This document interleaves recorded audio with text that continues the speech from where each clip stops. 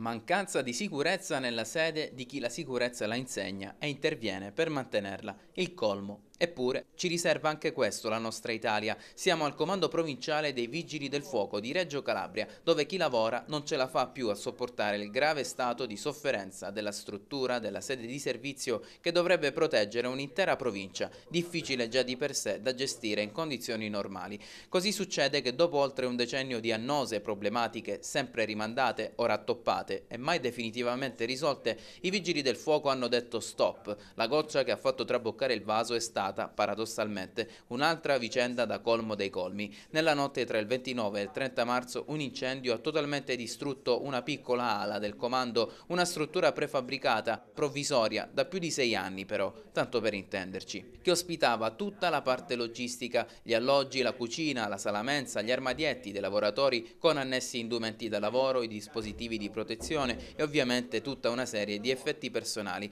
che sono andati completamente in fiamme una settimana fa sotto gli occhi increduli dei vigili stessi e solo una casualità ha evitato che l'evento potesse causare vittime perché le squadre di turno in quella notte erano fuori per servizio questo è solo l'apice di una situazione strutturale rimasta irrisolta per troppi anni, perché il problema ora è un altro. Distrutta questa piccola ala del comando, non esiste al momento un'altra zona che possa ospitare questi locali. La sede è già di per sé piuttosto stremizzita e la palazzina che qui vediamo nelle immagini, costruita proprio per sostituire definitivamente quel piccolo capanno prefabbricato, è in attesa di completamento da più di due anni. Chiariamo meglio, questa palazzina era stata prevista nel piano di ammodernamento del comando, costruita per ospitare comodamente tutti quei settori momentaneamente ospitati dalla struttura prefabbricata andata in fiamme una settimana fa. Il paradosso è che la palazzina è completa per l'80%, mancando solo le porte nelle stanze, i sanitari e poi il completamento della parte elettrica. Vi chiederete allora come mai non si sia già provveduto a completarla a suo tempo,